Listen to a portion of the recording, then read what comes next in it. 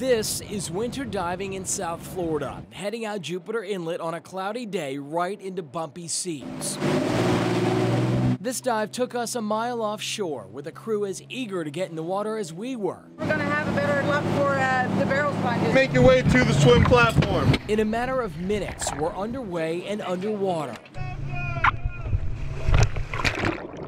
However, this day would bring us closer to a problem. Amid the perfect visibility and 80 degree water with turtles and marine life surrounding us, we caught sight of an enemy on our coral reefs. This competition between sponges and corals is favoring the sponges right now.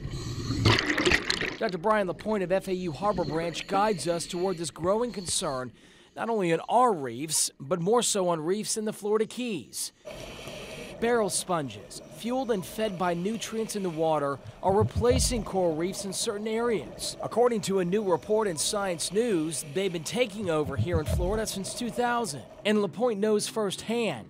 He's seen what the Keys once had to offer. 90% coral cover as recently, you know, as the 60s and 70s. Uh, now they're down to 5% or less. In fact, the Florida Keys now have the least coral cover of any reefs in the Caribbean region. It is a focal point for scientists like these who bring many samples to the surface.